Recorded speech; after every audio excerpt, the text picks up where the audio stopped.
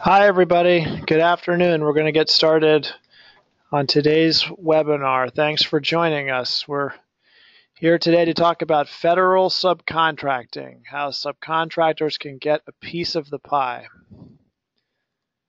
My name is Jon Williams. I'm a partner in our government contracts group, and I'm pleased to be joined today by Julia Di Vito, who's also in our government contracts group, and she moonlights doing a variety of other things in the, the corporate and litigation groups and a little bit of labor and employment too. Hits hits all the, the legs of the stool, so to speak, here at, at PilieroMazza. Those are our, our four primary practice groups, government contracting, labor and employment, corporate, and, and litigation.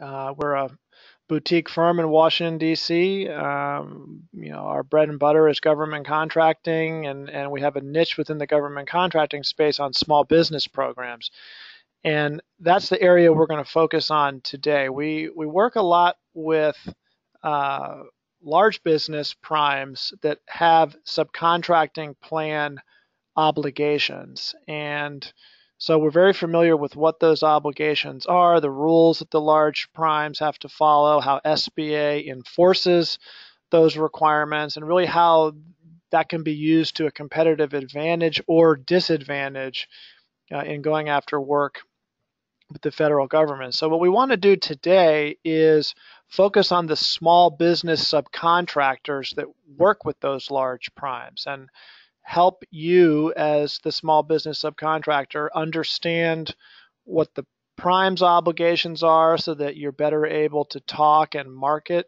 to those large primes uh, you know just have a better understanding of the opportunities that are out there at the subcontracting level and some of the unique rules and and requirements and programs that apply at the subcontract level so we hope you'll leave today with with a really good overview of federal subcontracting and how, as a small business, you can leverage your uh, capabilities and your small business status to gain work at the subcontract level.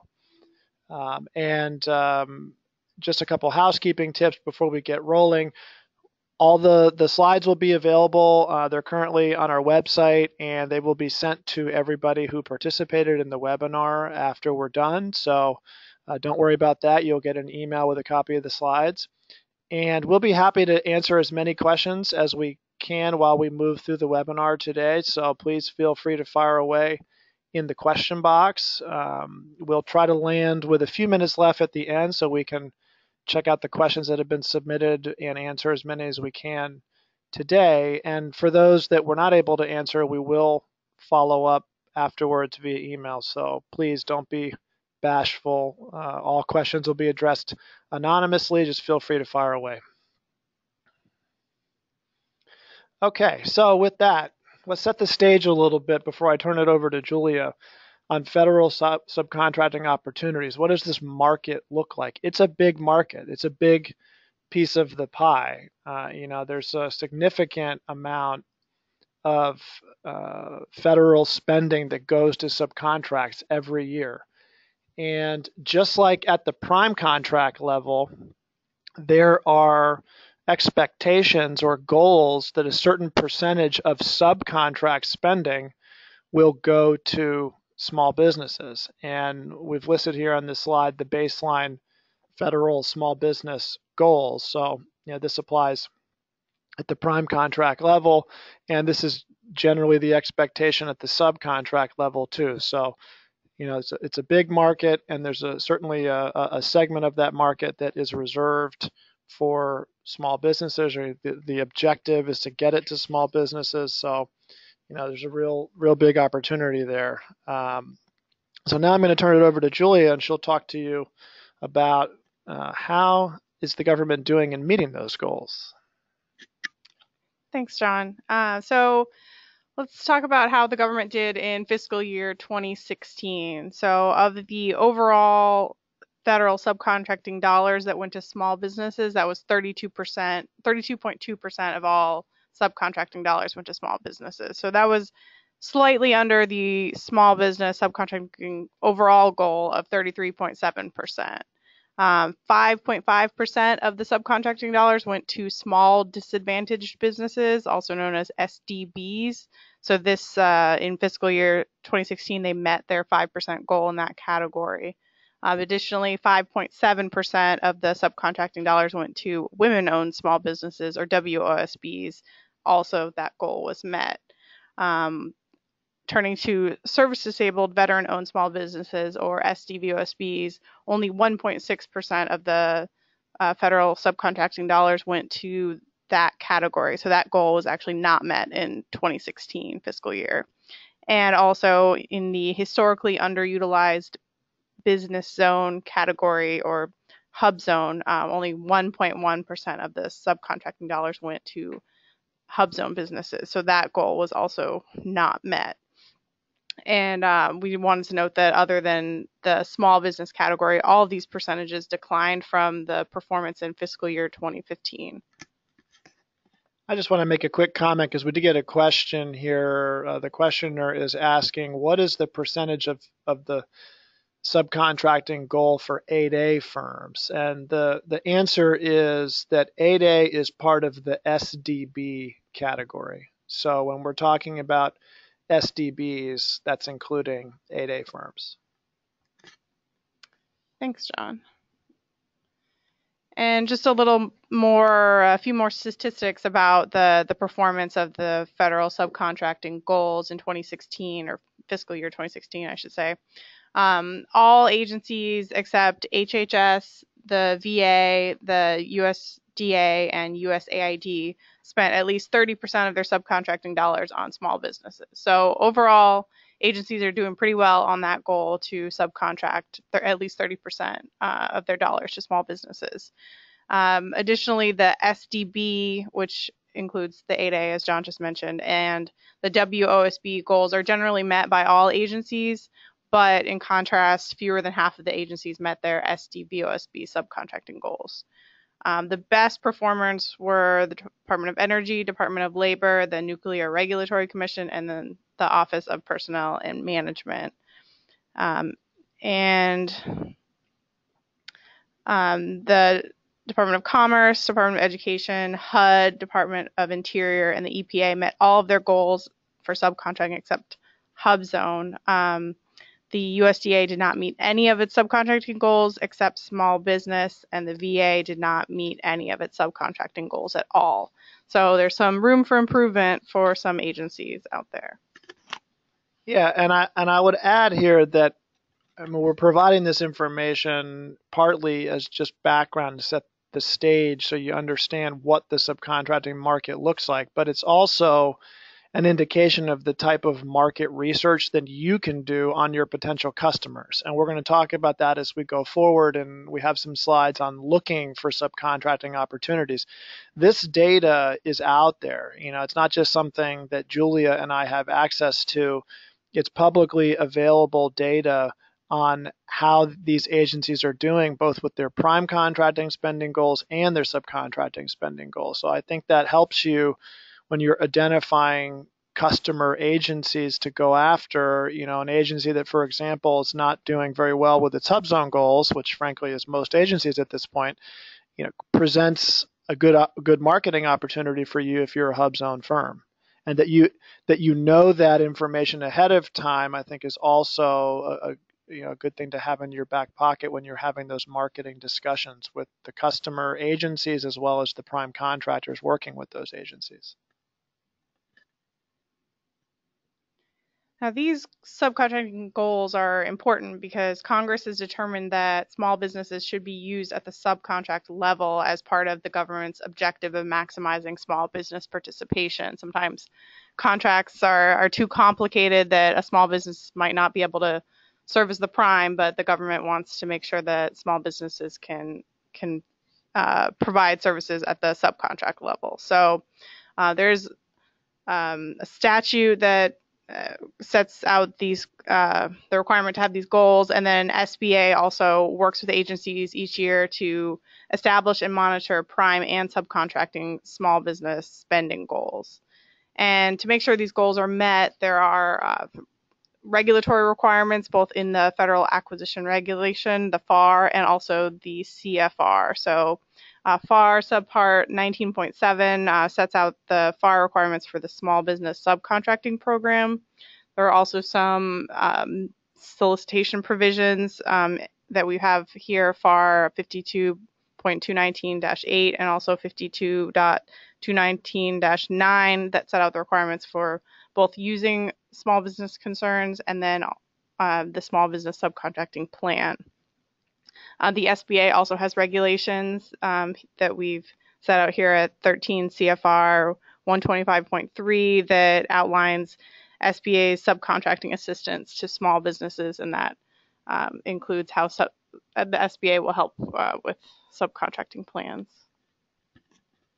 Yeah, and I think I, I want to just jump in and answer a couple questions that have been raised to make sure that we avoid confusion on the types of goals that we're talking about because there are two different types of goals here. There are prime contract spending goals that apply to federal agencies and how much of their prime contracting dollars are going to different types of small businesses.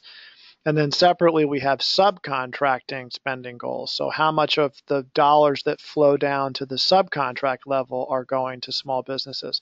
So, it could be the case that an agency has done okay in meeting its goals at the prime contract level, but the subcontracting that's going on at that agency is not meeting the goals. So because there's two different types of goals, and and we will talk as we move forward uh, in terms of enforcement and who's responsible, uh, who's at fault, so to speak. We've gotten a few questions along those lines, so we, we are going to hit those topics as we move forward. So let's talk about the two key subcontractor requirements for prime contractors. So the first requirement is to provide the maximum practicable opportunities for small businesses to serve as subcontractors. So this is legal language ma- maximum practicable opportunities, but really it's the the requirement to make sure you try to get small businesses involved as subcontractors. And this requirement uh, must be flowed down to subcontracts that offer lower tiered subcontracting opportunities. So that means that if you are the prime contractor and your subcontractor has a subcontractor underneath them, a lower tier subcontractor, um, that that first tier subcontractor should also uh, provide the maximum practicable opportunities for small business participation. And the second key requirement for subcontracting is to implement a subcontracting plan. And this requirement applies to prime contracts that offer subcontracting possibilities and are greater than $700,000 or greater than $1.5 million if it's a construction contract. And this requirement to implement a subcontracting plan only applies to large businesses. It doesn't apply to small business prime contractors or prime contractors on set aside prime contracts. And this subcontracting plan requirement also must be flowed down to subcontracts that meet these requirements that we set out in the first bullet under the implementing a subcontracting plan uh, section, um, except if the subcontract is to a small business or for commercial items. So, what is a subcontracting plan? Um, it is a written document that establishes a contractor's spending goals for small business subcontractors. Uh, so, it will include several different things. Uh, first, the spending goals based on the total plan subcontracting dollars. So, this is going to be usually set out both in terms of percentage and also dollar figures. Um, additionally, there will be separate goals for each type of small business. So, there will be a goal for how much will be subcontracted to veteran owned businesses, how much will be subcontracted to 8A businesses or uh, SDB businesses, as we talked about earlier, and women owned businesses, all those different types. Um, there will also be methods used to develop goals and identify potential small business subcontractors. So, how will the prime contractor actually go out and find any small business subcontractors? Where are they coming from? Do they already know them? What are the methods that they're going to use for that? and then also how the contractor will make a good faith effort to comply with its plan. So it, the prime contractor should do more than just have a plan, but actually has to comply with its own plan. Mm-hmm. Thanks, Julia. So a few questions I'll address before we turn to the next slide here, 11, that should be popping up on your screens. Uh, a couple different people have asked about subcontracting plan requirements being imposed on a prime contractor even though the prime contract is a small business set aside. That should not be happening. The, the, the rules are very clear that there is no subcontracting plan required for a small business set aside prime contract. Now, there's a separate clause that Julia mentioned about maximizing the utilization of small businesses. That's more of a policy pronouncement than it is, you know, it's not a requirement to have a subcontracting plan per se. That requirement to maximize utilization of small businesses is going to be in most contracts and, and, and maybe in set aside contracts, but there shouldn't be a, a, a, subcontracting plan required of a small business prime. So if you if that happens in a solicitation, because maybe they're just cutting and pasting, you know, from an earlier version, and that that kind of thing does happen a lot. You need you should push back on that. Uh, let let the the customer know that that's not that requirement doesn't apply.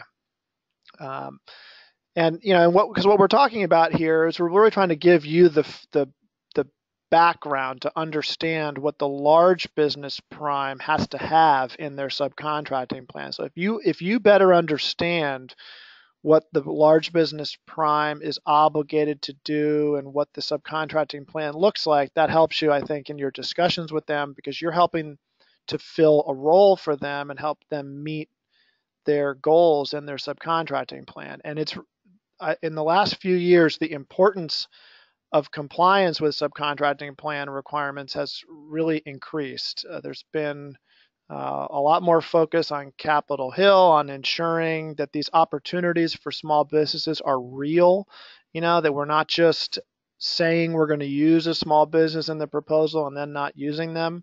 Uh, although I'm sure many of you that just heard that probably say, well, that's still happening today, and, and I'm sure that it is, but there has been more of a focus on trying to prevent that. And, and as we move forward, we'll talk about some rules that have been put in place to, to that end. Um, a lot of the large businesses I mentioned that we work with larger contractors that have subcontracting plans to help them create a compliance program and to go through an SBA audit. And we've heard from many of those firms that this is the first time they've heard from SBA regarding their subcontracting plan in years. So there, there's definitely more of a focal point on this issue on the Hill within SBA and that's that's flowing down, so to speak, to the larger primes that have these subcontracting plans, and that should ultimately to the bene- be to the benefit of small business subcontractors. Um, and you know, the, there is more, uh, there are more penalties. The the stakes are higher, as we say here, you know, for the primes that have these subcontracting plans. So, uh, you know, it's something that they need to take more seriously. And, and from our anecdotal experience working with those firms, uh, they are. Uh, the next slide here is just intended to drive home the, the point that is really important to ensure that you're complying with the subcontracting plan requirements. And that's not just for the prime, even though it's the prime that has the subcontracting plan. If you're going to be on the team, you want your team to be successful.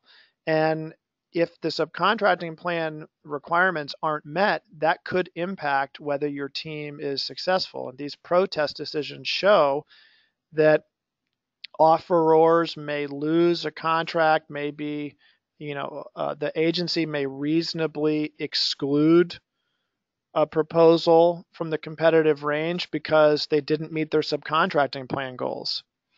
And conversely, if somebody did really well in meeting their subcontracting goals, that can be a decisive factor in making award to that firm. So it, it, it is a true discriminator and can be a competitive advantage or disadvantage.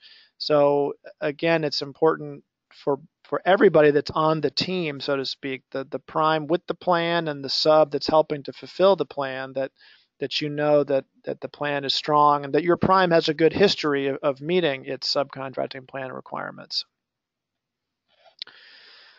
So we've had, like I mentioned before, there have been several questions about, well, how is this enforced and who's responsible for this? And so um, a couple of, of responses on that. One is that it's the it's a, uh, an agreement that the prime enters into with the procuring agency. So that's one line of enforcement is that the procuring agency has to approve the plan and the procuring agency does ongoing monitoring of the plan. As Julia mentioned, the prime has to do reporting. Um, as I just mentioned on the last slide, your prior performance on your subcontracting plan can be a factor in evaluation. Um, and there are penalties associated with not meeting those requirements. So the procuring agency is one line of defense, so to speak, uh, in ensuring that these plans are entered into and, and followed. And the SBA uh, is another line of defense there. That they have the primary responsibility for auditing, uh, monitoring subcontracting plan performance. So if there's a whether it's a surprise audit because you know the number just came up or maybe the particular prime didn't do very well on its goals report for the most recent year and that might trigger an SBA audit but uh, so there are you know various ways that SBA could get tipped off to an issue uh, or they may just be looking for it through their own uh, through a surprise audit, you know, that that's their role. So that they will conduct uh, on-site visits, uh, and it's it's a pretty extensive audit. They look at all of the subcontracting plan documentation that the company has, their internal policies and procedures. They're going to ask for underlying supporting documentation for all of the uh, small businesses that that you, that are being claimed, or if it's a commercial subcontracting plan, and if that's you know potentially thousands of small businesses, then the SBA might pick a a sample set of of certain small businesses that they want to look at. But they're you know they're checking to make sure that the prime is appropriately reporting true small businesses. You know what are their processes for getting representations of size and status how committed is the senior leadership of the prime to the subcontracting program. It's it's a holistic assessment, and it, it will typically involve on-site uh, visit and interviews as well as reviewing uh, documents. And then the SBA will ultimately make a, a rating, an adjectival rating assessment to the company's uh, subcontracting program, and that can have an effect on uh, you know the the, the prime contractor's uh, evaluation for future projects. There can be penalties associated, as we discussed. So, SBA plays a very important role in enforcement and monitoring of subcontracting plan requirements. Subcontractors can help primes fill multiple buckets. So I think this is an important point. There were a few questions I think asked early on to go towards this slide, so hopefully we'll answer them now. Um, this is really a marketing tool for you as as a small business. If you are a woman-owned small business, as in the, the example here, the first example, then you are both a woman-owned small business and a small business, and the that means the prime can take credit for the spending to your firm in both the woman-owned small business category as well as the small business category.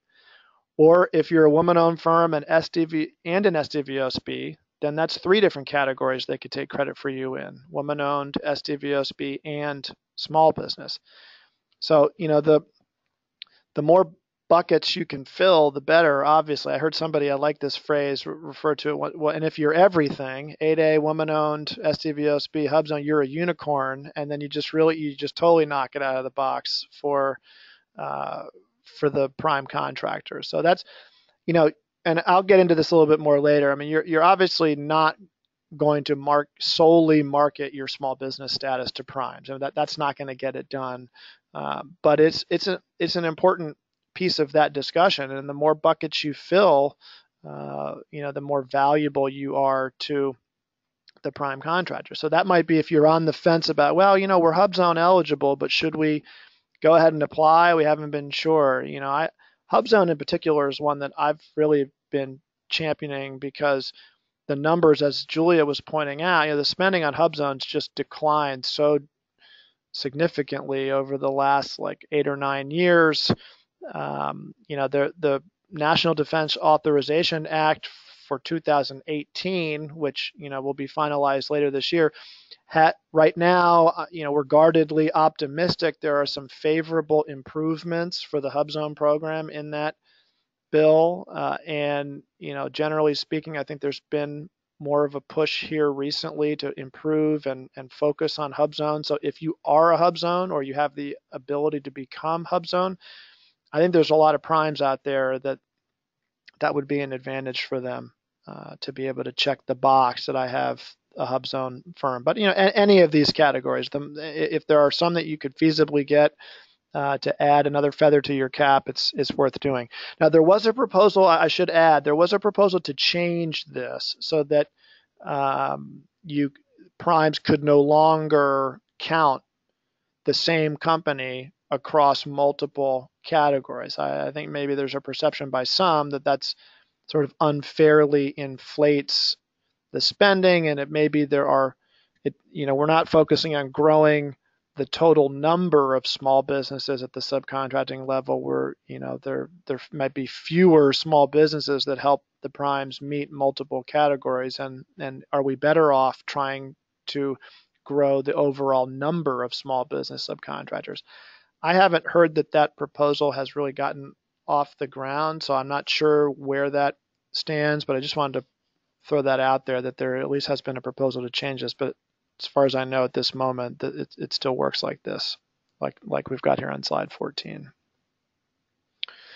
So finding subcontracting opportunities. We did get a couple questions on this. Here's um, uh, some information for you there. You know, keeping your SAM and DSBS profiles up to date because that's where primes go to look. That's obviously important. But the the first bullet I think is one that whenever I mention this, a lot of people say, "Oh, I'd never heard of Subnet before." Uh, so check out Subnet if you're not familiar with it. This is where primes so again, to go back to the SBA's role in enforcing compliance with subcontracting programs, when they come knock on the door and do an audit of a large prime, they'll one of the things they're looking at is what is that prime doing to try to find small business subcontractors? And if the prime isn't doing enough in the SBA's eyes, then the SBA is going to make recommendations. And one of the things SBA is going to say is you should start posting your opportunities on subnet. That's the purpose of subnet. Uh, so um, if the primes aren't currently doing it and they're audited by SBA, SBA is going to encourage them to do it. So going to subnet as a subcontractor is where you, you should be able to look for these types of opportunities. You know, some of the stuff on here is I'm sure stuff you're doing probably seems like common sense, you know, matchmaking and industry days and having a solid capability statement. I've definitely gotten capability statements from relatively young small business contractors and thought that doesn't really tell me the story of their company or it doesn't tell me the story easily enough in a in a quick, you know, one or two page summary. So honing that so we know who you are and what your capabilities are. And again, like I said before, you're not just selling your small business status, you're selling your capabilities first. I have heard a lot of the small business reps with uh, larger primes, you know, the, the small business liaison officers or SBLOs. Um, that's what they're referred to at the primes with subcontracting plans. They'll often say, you know, don't just come in and tell me I'm woman owned and SDVOSB. First and foremost, I need to know what you're offering that helps me serve, you know, the, our objective on this particular project or, or, whatever it is. And then it's a it's a added bonus if you have these other, uh, you know, attributes that allow us to meet our subcontracting goals. So make sure you're you're pitching in the right order as capabilities first and status second. And I think that's good, generally good advice.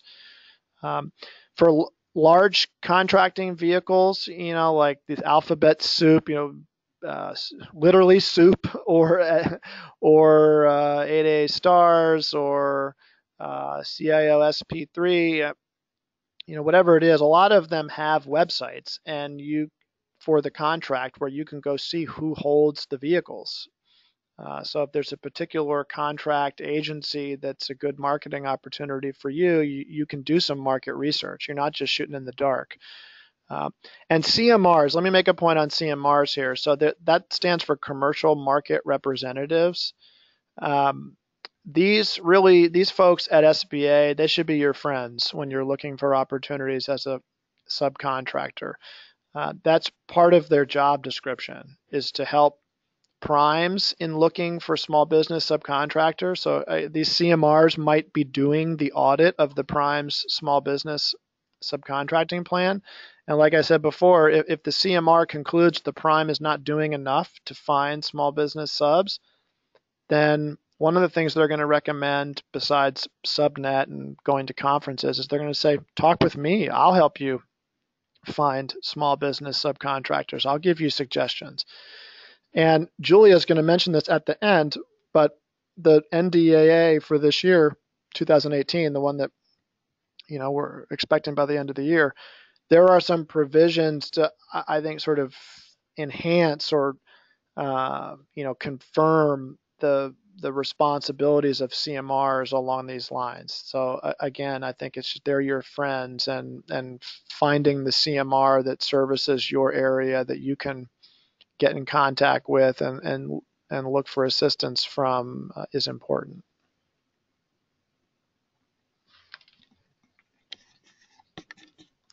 Thanks, Jon.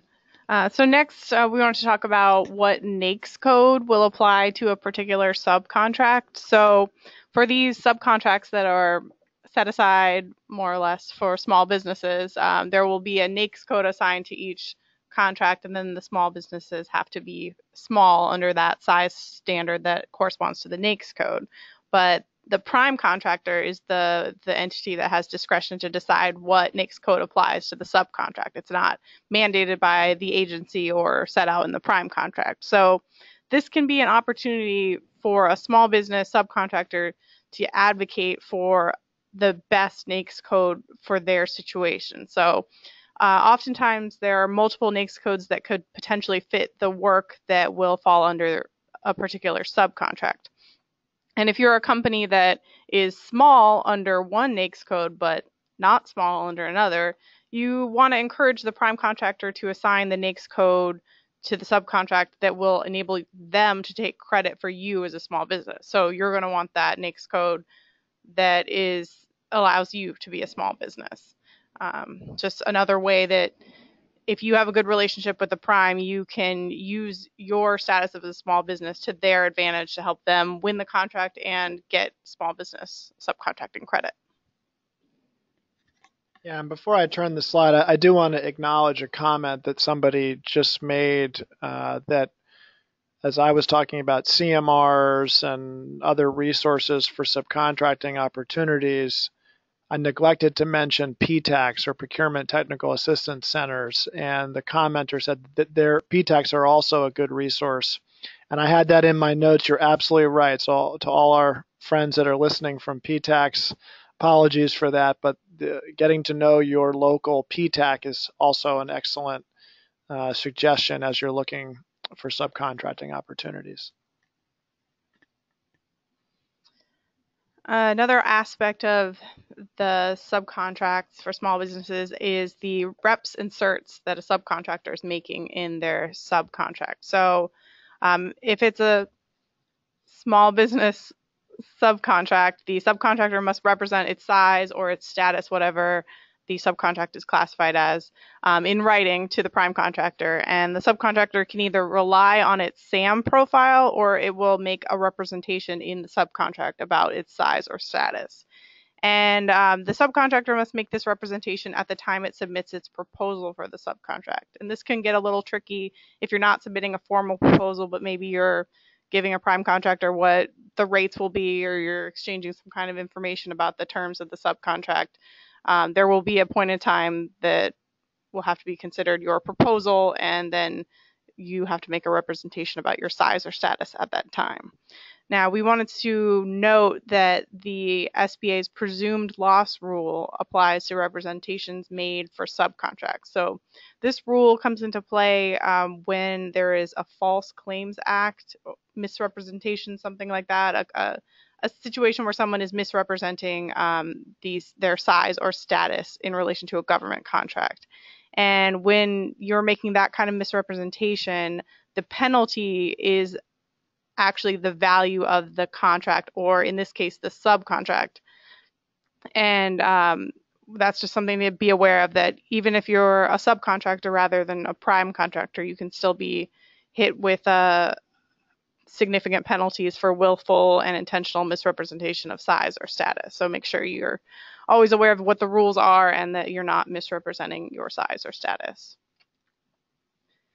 Uh, along those lines of um, proving or representing what your size is, um, there are size protests at the subcontract level. Um, a lot of people don't know that, but in addition to size protests at the prime contract level, you can actually protest someone's size for a subcontract in certain situations. So, size contract size protests can be filed against a subcontractor by the prime contractor if there's doubt uh, on the part of the prime that a, a potential subcontractor is actually small.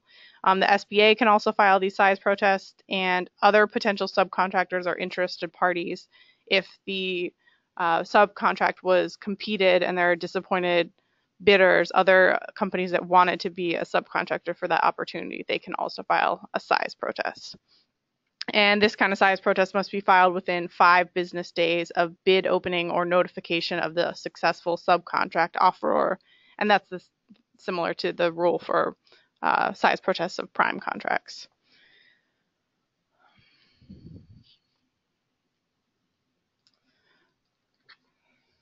So I, I touched briefly uh, just then about competition for subcontracts, and um, there are certain circumstances when a prime contractor must select subcontractors on a competitive basis um, to the maximum practical extent. So there are there's some way wiggle room about it, but um, you're supposed to compete subcontracts when uh, the contract is a negotiated procurement. Uh, the contract is expected to exceed $150,000, and the contract is expected to, or excuse me, not expected to be a firm fixed price, time and materials, labor hour, or architect engineer contract.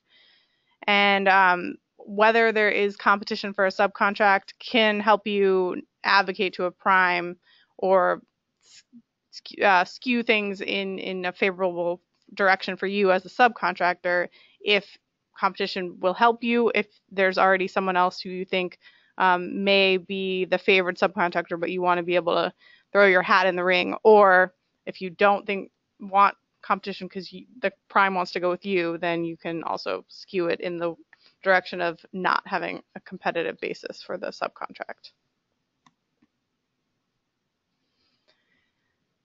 Uh, next, we want to talk about when subcontract approval by the contracting officer is required. So there are certain times when the prime contractor has to obtain the CO's written consent before entering into a subcontract, and that is if the prime contract is a fixed price contract and the subcontract is under an unpriced contract action and the prime contractor does not have an approved purchasing system, or if the contract is cost reimbursement, time and materials, or labor hour contract, and the prime contractor does not have an approved purchasing system, or subcontract, uh, excuse me, subcontracts under 8A sole source contracts. In all of those situations, the prime contractor would have to get the CO's written consent before entering into a subcontract. And because of this, you want to build language into your teaming and subcontract agreements that makes the prime contractor undertake its best efforts to secure approval of the subcontract if that approval is necessary. So you don't want to be in a situation where the prime contractor can say, "Oh, I tried to get the the CO to approve it, but actually the prime contractor didn't make any effort to try to get it approved." So you just want to have that protection in there in case um, the prime contractor is trying to do something to get out of giving you a subcontract. Yeah, and you know, just this point on the 8A sole source contracts, uh, you know, obviously it would not be a large business prime that is getting an 8A sole source contract, but it's possible that you as a small business could be a subcontractor under an 8A sole source contract. Or you might be an 8A firm and you you receive a sole source contract and maybe bringing on a subcontractor. And I, I think it's often overlooked that the FAR clauses for 8A awards and 8A sole source in particular require approval of both the SBA and the contracting officer if you're going to issue a subcontract underneath an 8A sole source contract. I've had that issue come up several times here recently. So and and in those cases, nobody had approved of the subcontracts in real time. I don't think anybody was really focused on that as a requirement until it was brought up after the fact. And so, and, and the FAR does actually say you, you can't subcontract without those approvals. So it's a good, good point. Uh, somebody else, as long as we're talking about things to have in your subcontract agreements, uh, like this commitment that Julia mentioned, we've got a question about whether or not a subcontracting agreement uh, typically prevents the small business subcontractor from doing further subcontracting. So taking a portion of the work to the subcontractor and, and turning around and subbing it down to someone else. I, I think it's definitely common that there would be that type of restriction in a subcontract, but I don't know if I would necessarily say it's typical. I think it, um, you know, that's more of a case by case determination, but it, it's common that you see that. I, I'm going to talk in a little bit about lower tier subcontracting and maybe why you might see a little less of that based on this new new lower tier subcontracting requirement. But first, let's talk about increased subcontracting opportunities on set aside contracts. Because this is a cool new rule within the last year or so that we have. Uh, it's called the similarly situated subcontractors rule. So this is an SBA rule. And what this SBA rule says is that you can meet the prime contract performance requirement that applies to a set aside contract in combination with the work done by the small business prime as well as work done by similarly situated subcontractors. So, you know, here again, we're not talking about a large business prime with a subcontracting plan. We're, we're shifting gears and we're talking about a set aside contract. So, any set aside contract that's reserved for a small business is going to have a performance requirement. It's, for example, 50% for a services project. So on a services project, the small business prime has to do at least 50% of the services.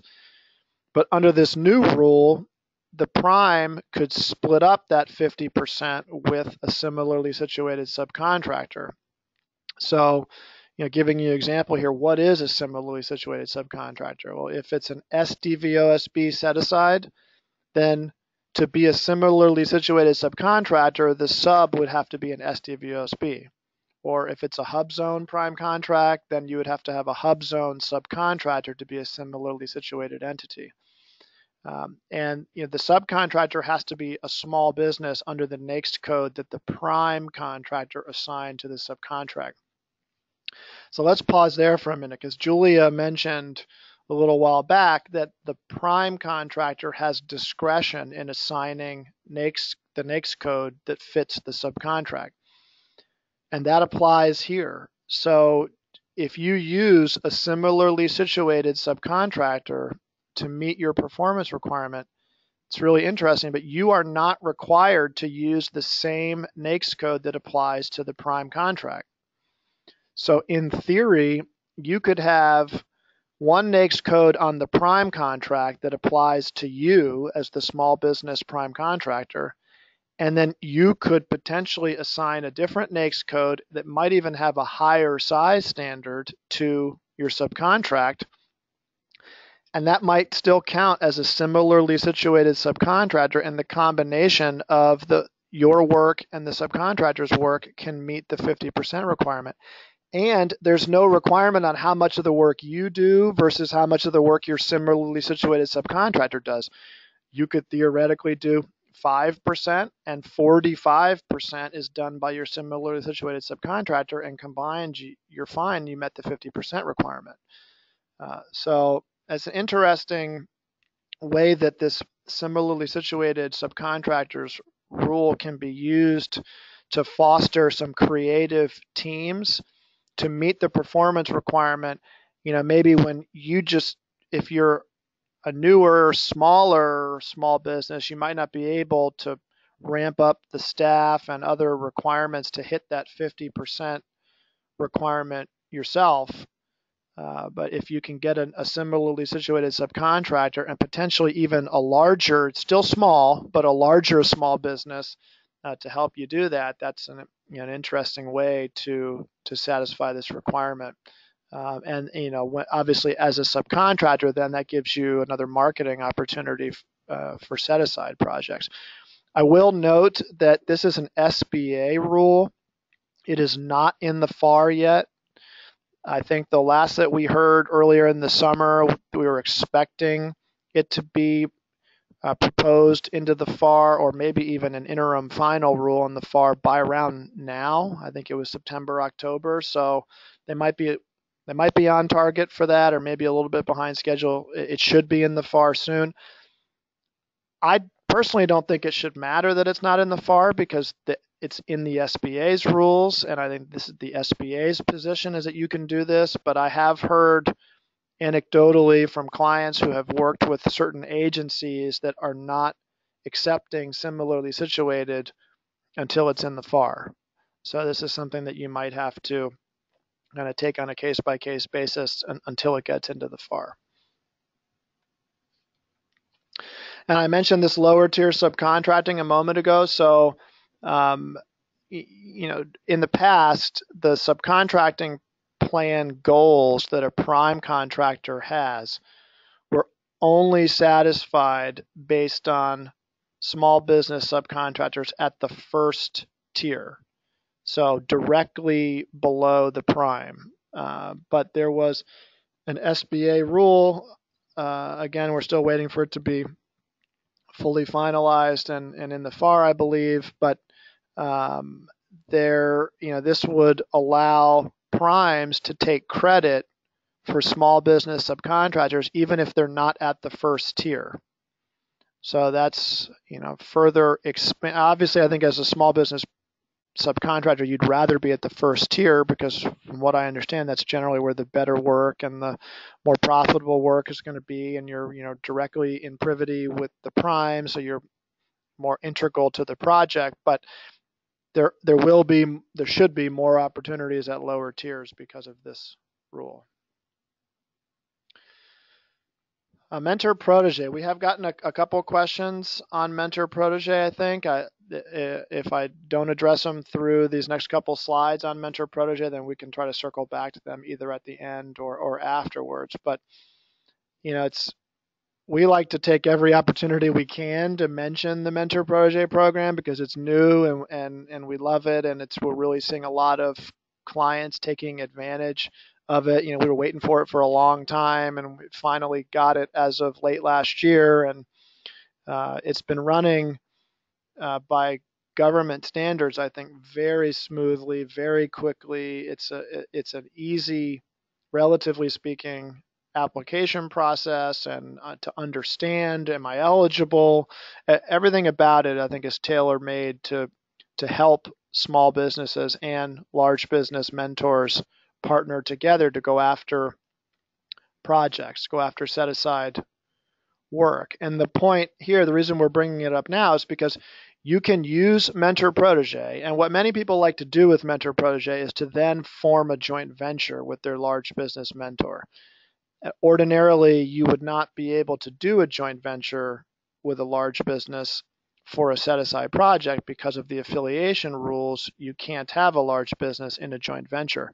But there's an exception to that if you have a mentor protege relationship approved by SBA. And please make sure that you note that the mentor protege relationship has to be approved by SBA before you submit your proposal as a joint venture.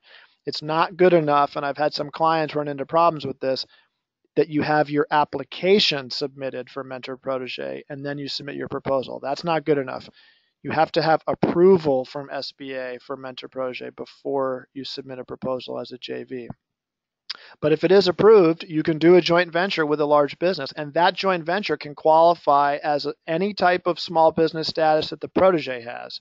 So if the protege is a unicorn and they have 8A and HubZone and SDVOSB and Woman Owned, then they can do a joint venture with their large business mentor for any type of set aside project in those programs. And that also counts at the subcontract level. So you could go to the large business prime and say, Our joint venture will let you check the box for all of your subcontracting plan goals because our joint venture qualifies in all those categories or, or whatever categories it, it meets. So it's a, you know, there are a lot of good things about the mentor protege program and joint ventures under them and and this is another one being able to use it at the subcontract level and I just wanted to lay out the steps in case you're interested in mentor protege and joint venture you know and just emphasize again that you've got to get the you got to get the sequence right here you have to get the mentor protege approved by SBA not just that your application submitted but you're actually approved by SBA uh, before you submit your joint venture proposal. So, you know, the mentor protege agreement, the SBA, they've been very consistent ever since the, they took their first application about a year ago. They're approving them in roughly two weeks. I think they tell people eight to 12 business days. And my experience doing a lot of them is that that's exactly right. They're roughly two weeks. The joint venture, you know, I, I, would say if you have a month, that's your best case scenario because it just takes some time to work through the documents and forming the LLC and getting into SAM and all that good stuff. Uh, so you want to give yourself a little bit of lead time, and then you submit the proposal. So um, the mentor protege is that key first step, and like I said, there it's really running pretty smooth and easy uh, at this point. All right, so we wanted to talk uh, about some of the protections for small business subcontractors, um, and we I think we've hit on some of these, but we'll just summarize all the different ways that that SBA and the FAR um, set out rules that protect small business subcontractors. So a lot of these are in FAR 19.7 and also FAR 52.219-9.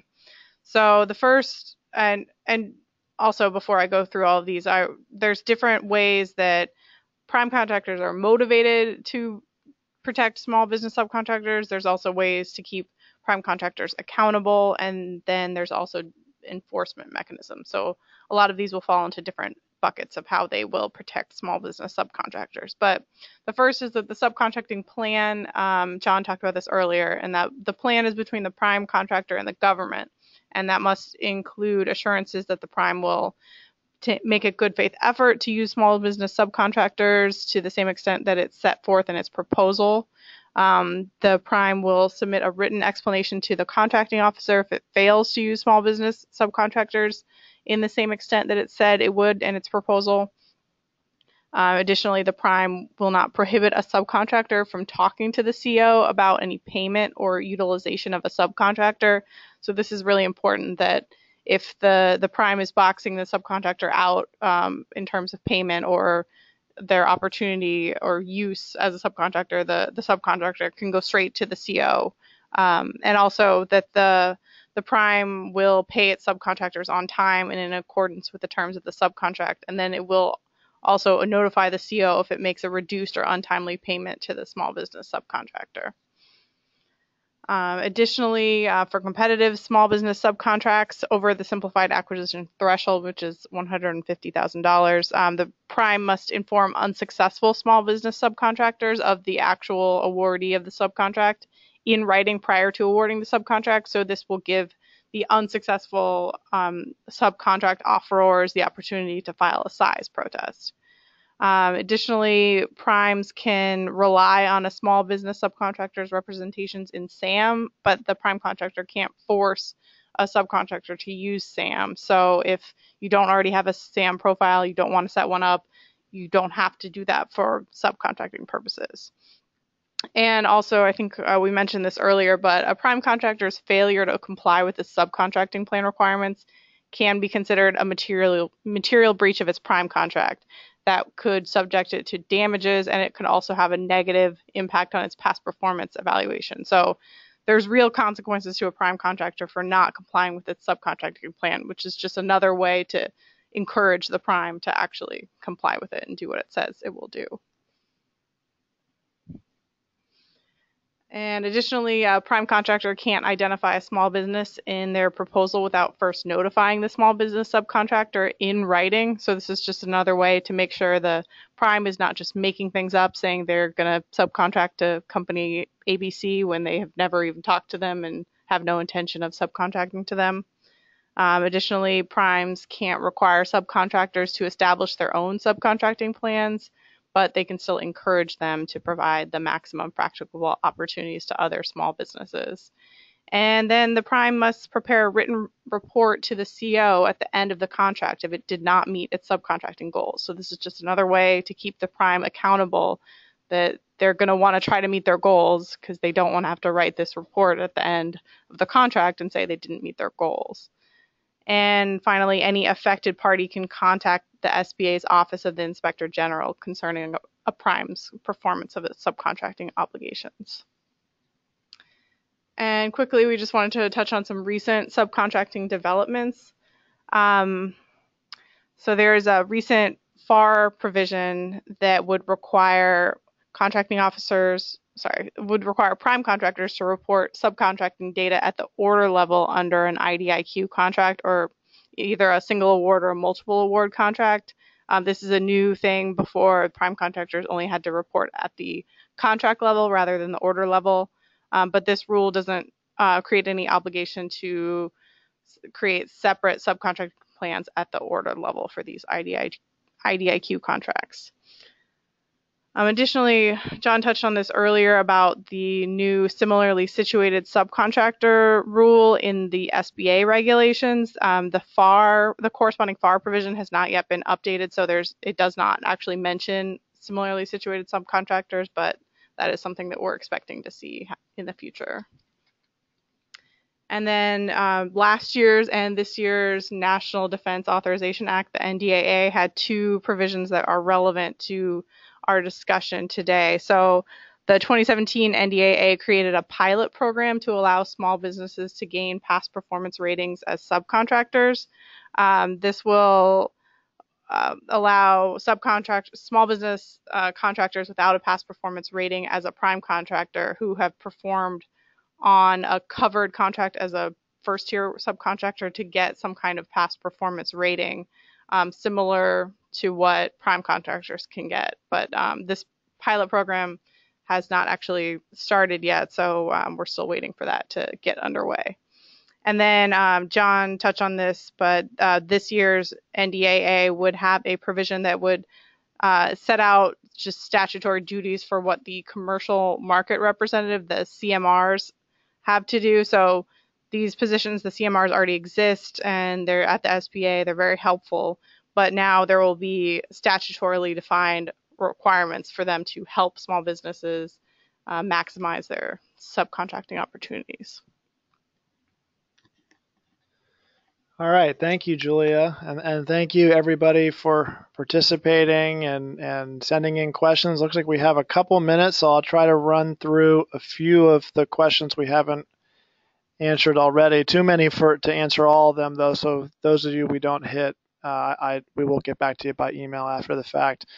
Somebody has asked or said we don't use SAM, so do we just sign the primes forms to self-certify our status? Yeah, as I think Julia mentioned, there is a rule that says they can't require you to use SAM. So if you're not using SAM, then you would need to make some type of a written representation of your size or status to the prime. And like you point, the questioner pointed out, many of the primes have forms they want a form they want you to fill out. There's a standard form that SBA suggests that the primes use uh, to get representations from subcontractors. So uh, most primes are probably working off of a similar sheet of music there. Uh, somebody asked whether or how is the percentage of work typically calculated and enforced. I, I had mentioned that there's a a performance of work requirement that applies to set aside prime contracts. So the re- performance requirement is based on the total amount that the government pays to the prime contractor. So if we're talking about a services project, you know, where there's labor is really, really the, the heart of what's being done, then it's going to be the total amount the government pays to the prime contractor for the labor. That's that, that's how you're going to measure the performance uh, requirement. Um, and I'm happy to drill down on that further for help the questioner if you have a, a more, a more a follow-up question on that. And in terms of enforcement, there, there could be audits by either the SBA or the procuring agency regarding compliance with the limitations on subcontracting. That's what the performance requirements are typically referred to as the limitations on subcontracting. All right, I think we're going to end there. It's three o'clock. Again, thank you very much for your participation, and we hope to see you at another one of our webinars soon. Take care.